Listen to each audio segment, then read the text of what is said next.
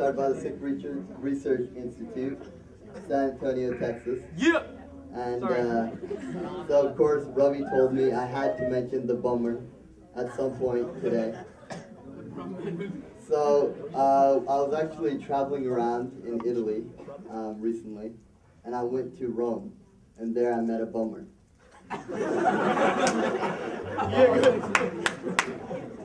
so he, he like loves me, um, which I found out later was literal because he was gay. so he started telling me about how great Rome is and how great Sikhs are, and I didn't believe him. And he goes, "No, true story." He tells me how the Vatican was actually formed. And he tells me that back in the day, the Pope and the Sikhs in Rome were fighting with each other. Um, and so, you know, like farmland dispute or whatever. so, the Pope said, I'm going to kick out all the Sikhs in Rome. And, you know, we don't we don't take that lightly. So they decided to do what they always do, and they held a great debate. Um, so here the Pope and the Sikh start debating, and just to make things interesting, they decide that they're not allowed to speak. Of course, the Sikh guy didn't know English anyways. That's a different story. So they're debating, and the Pope goes first and he looks at the Sikh guy and he raises up three fingers. Yes, three.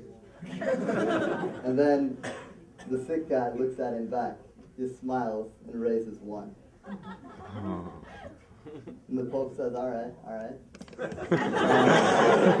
so he looks to the sky and he starts spinning his finger around. And it's not Bhangra. so then the Sikh guy says, and the Pope's like, okay, okay. So he pulls out some wine and some bread. And the Sikh guy just smiles and pulls out an apple. And then the Pope just walks off. And he says, never mind, you guys win. We're going to create our own separate nation. You can have Rome.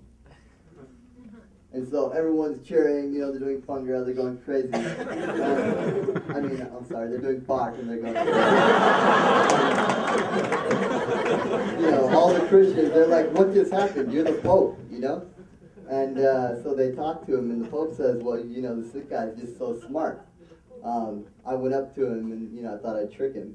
So I raised up three fingers to tell him about my faith, tell him about the Trinity. And the Sikh guy just smiled and raised one finger because there's still one God. And he said, okay. So I told him that, you know, God is all around us. But the Sikh guy said, no, God is here inside us and within us.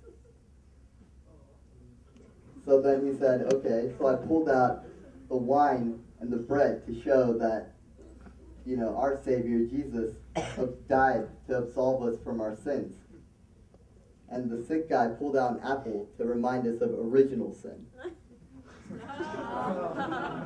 so the Catholics are like, wow, you know, these Sikhs are so smart. Meanwhile, back at the divan where they're doing Bach, the Sikh guys are all, you know, they're asking him what just happened. We didn't understand what happened. And so the Sikh guy goes, don't worry the Pope came up to me and he went like this. He said, You have three days to get the hell out of Rome. but I told him, Not one Sikh is moving from me. he tells me, Okay, we're going to surround the city. and uh, Sikh guy points to his feet and says, First, you got to kiss my feet. so then everyone's like, wow, that's amazing. You know, you got such um, balls. and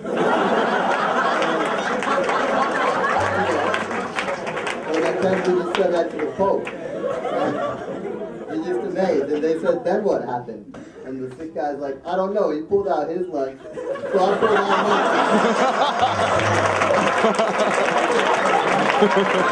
mine. that was my uh, Rome. Um, he's a great guy, great woman. His name's Antonio. Um, if any of you uh, men are interested, I can give you his email. We still stay in touch. But uh, I'd just like to end with uh, one of my favorites, and that is, what do you call a Pakistani prostitute that moves to France? You said this one last time. Yeah, you did this. Lahore. Still said.